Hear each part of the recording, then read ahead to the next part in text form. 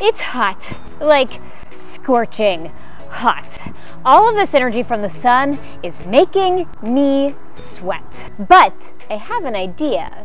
Let's use this energy from the sun to make something useful. Save those leftover pizza boxes because we're about to make some solar ovens.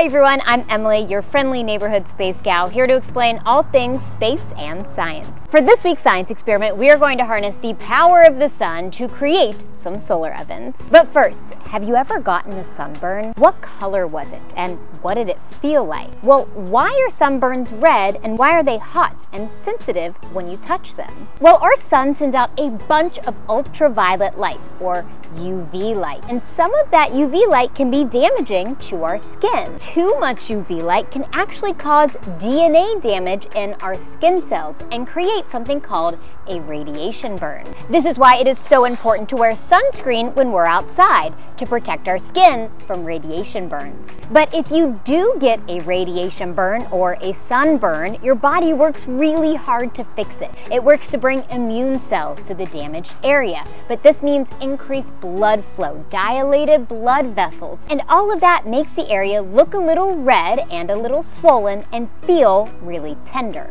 The sun is incredibly powerful and we don't want to underestimate it. In fact, today we are going to use the energy from those UV rays for good and make some food outside. To make your solar oven, you're going to need a pizza box, some black paper and some scissors, some aluminum foil, some tape, a glass bowl, and of course you'll need something to cook. Today we are going to make cheesy nachos. So you need tortillas and shredded cheese and s'mores. So you'll need graham crackers, chocolate, and marshmallows. Parents and guardians, let's make sure we are helping with this because we don't want anybody to get cut on the tin foil box and the solar oven can actually get surprisingly hot. Our solar ovens are really light converter machines. We are going to be doing three things that will convert the highly energetic, shorter wavelength light from the sun into longer wavelength light that will heat our food. The first way we are going to do that is by lining our pizza box with black paper. My black paper surprisingly fits my pizza box perfectly, so I don't need my scissors. But I am gonna tape it down.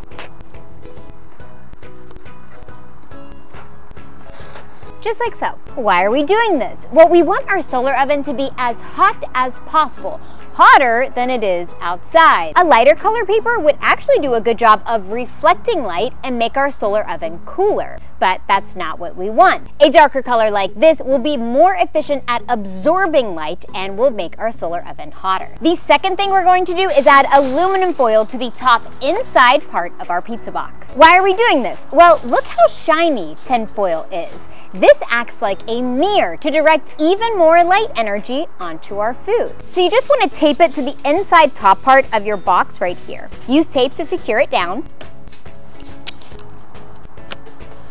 Oh my goodness, I am sweating. That should be good. And then eventually you're going to want to point this towards the sun. Now you want to prop the top part of your pizza box up. And the angle that you prop it up at is really going to depend on where the sun is in the sky. If it's lower in the sky, you can make your angle a little bit lower, but you can see the sun is kind of directly overhead. So right now, I want my angle to be kind of large so that I'm letting in as much light as possible and I'm not casting a shadow on my food. I'm just gonna use tape to prop mine up.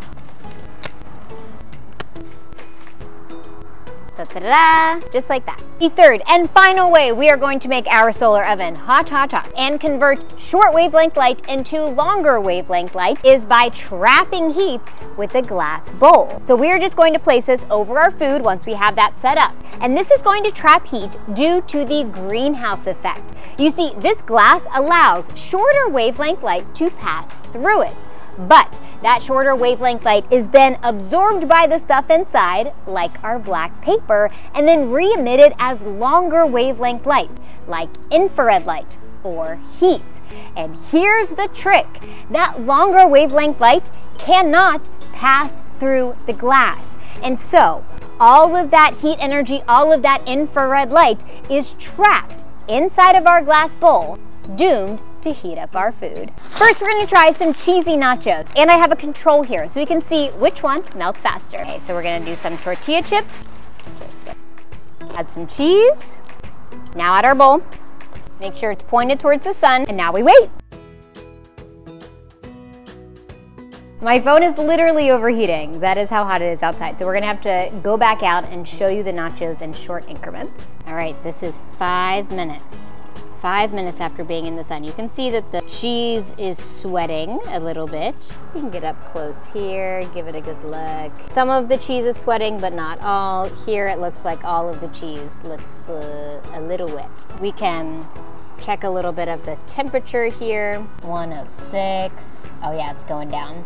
So this is like 107, 124. This is outside of the glass right there. So that's not even inside the glass, which has got to be a, a, a, bit hotter. Woo-wee. Oh my gosh, wait, no, I think they're done. This is, it's been seven minutes. And you can kind of see on the side that they're already quite cheesy. We'll leave, we'll leave them in there for 10 minutes just to get them really cheesy and then we can do a taste test. Okay, it's been about 10 minutes and we are going to do a taste test. We can look at our control and see that the cheese is sweating, like it looks wet, but it's not completely melted. It does not look like cheesy nachos. That looks like nachos with shredded cheese.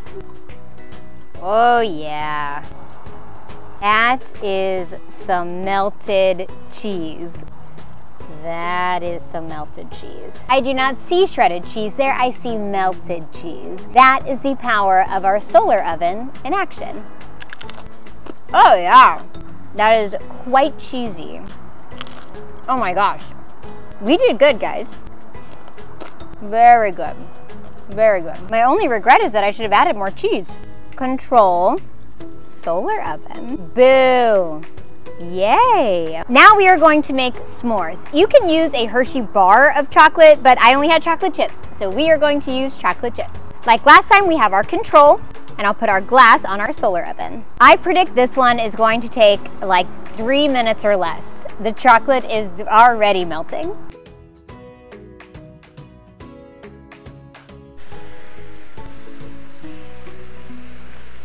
Okay, it's been five minutes. It's kind of hard to say which one looks more melty, but according to our thermometer, it's much hotter over here. All right, let's do the taste test. Oh, that looks very melty. The marshmallow is warm, but I, the marshmallows are not really gonna melt. Here we go. Let's look at that melt. Oh, oh yeah, look at that. That's just pure melted chocolate right there. But we have to truly taste it to find out, right? Look at that. Oh yeah. That tastes like a s'more. Mmm, science. Mmm. Oh yeah. All right, let's see how melty this is. This is the control. Okay, it's definitely melty, but I feel like it's not as melty. Yeah, that one tastes good too. Thanks for watching. Stay tuned for many more science videos. And as always, stay curious and keep exploring. I'll see you next time.